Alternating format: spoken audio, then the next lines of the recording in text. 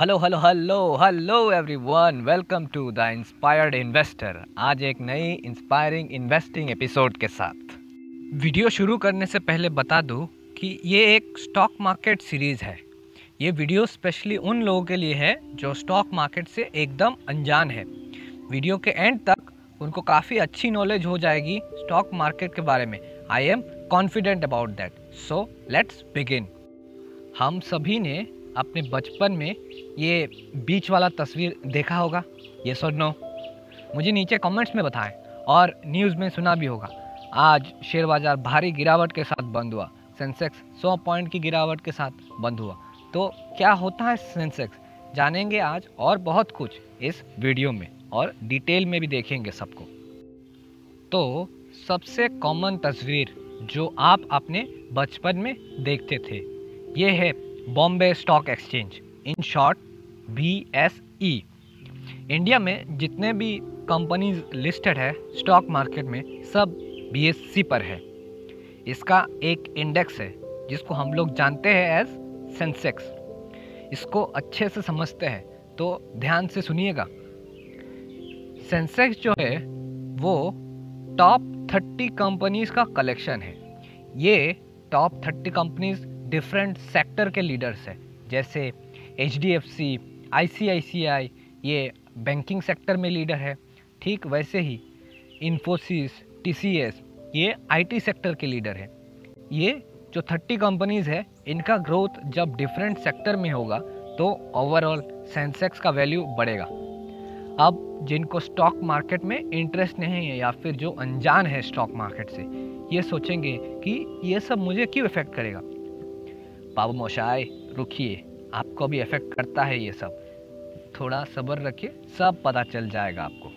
तो ये है national stock exchange in short NSC इसका जो इंडेक्स है, वो है Nifty it's a collection of top 50 companies लेकिन, जो टॉप 30 कंपनीज़ है, वो सेंसेक्स और निफ्टी दोनों में कॉमन है। बाकी जो 20 कंपनीज़ हैं, उनका कंट्रीब्यूशन निफ्टी में उतना ज़्यादा नहीं है।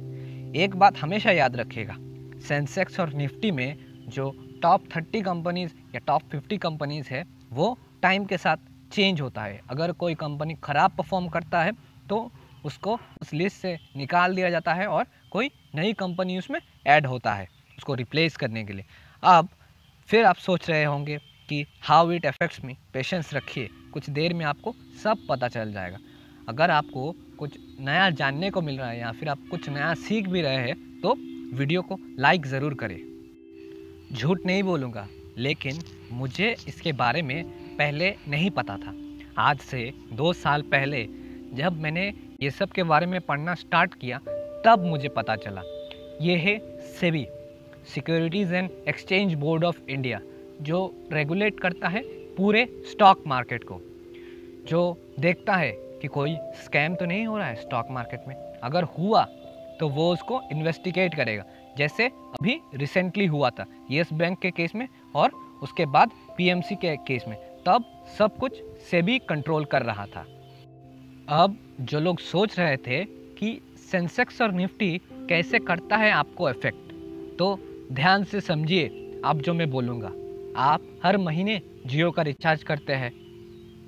आप जो पैसा पे करते हैं, उससे रिलायंस का रेवेन्यू बढ़ रहा है। इनडायरेक्टली रिलायंस का जो शेयर प्राइस है, वो बढ़ेगा। अब, जबकि रिलायंस सेंसेक्स और निफ्टी दोनों में लिस्टेड है तो सेंसेक्स और निफ्टी का परफॉर्मेंस भी अच्छा होगा।